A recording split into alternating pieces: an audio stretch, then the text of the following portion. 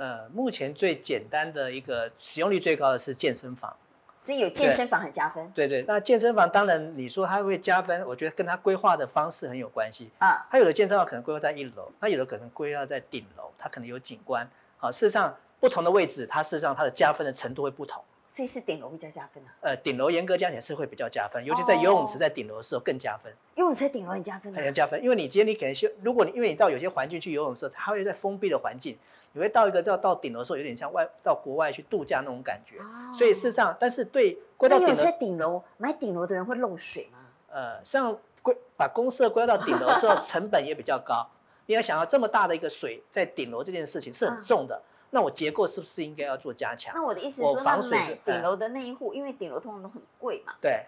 那顶楼那户的楼上如果是游泳池，是不是很容易漏水？呃，是，当然游泳池有这样的一个可能性。但是现在我们当然在开发商在实物上会吗？呃，实物上来讲的话嘛，哈，我们只要有多做，例如说我们可以做复式层。啊，两个楼层，或者说我们在游泳池，它本身它是用钢板的方式，然后再包瓷砖，所以其实对对，其实是不会，是让你就是从瓷砖落下去，也就落到钢板里面，上问题是不大的，问题是不大。上这个东西已经有很多方式可以克服。我第一个想说，哎呀，糟糕会漏水哈，所以在顶楼更加分。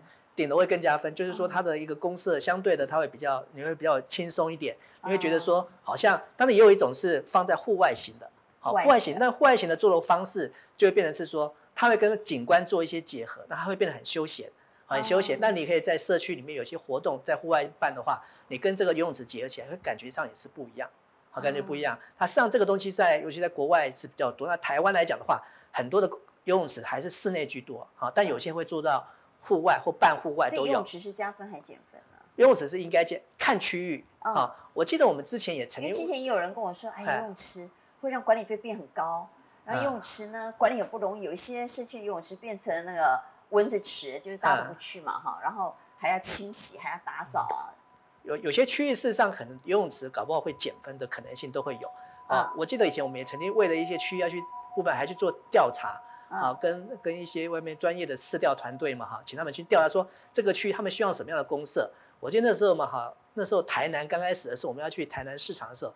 对，他游泳池他们并不是很喜欢，台南人不喜欢游泳池。游泳池，他们那时候在这样讲，但事实上好像我们规划游泳池好像也没有这么想象中的这么不堪。但是从问问卷里面的调查，对游泳池这个字是有有点排斥的，有点排斥。但是这个东西到实物上在做的时候，好像这个问题又没有想象中的这么大。好，但是在游泳池跟健身房是一般消费者关心的一个地方。那另外就是儿童游戏区，儿童游戏区还有阅览室这些部分，因为很多人买房子都考虑到下一代。好，下一代，所以这个东西是他们关心的一个部分，要么有没有什么样的规划？所以如果是小宅，就像刚刚教授说，如果这一区呢，大部分都是小宅，对，儿童游戏区就蛮重要的，蛮重要的啊。然后要这该怎么规划？当然，规划过于复杂，有时候后面也没有不见得是会如如状况，就是说，就是因为还要保养，保养，对对。我记得很多就对，有时候可能做了一个很大的球池，可能。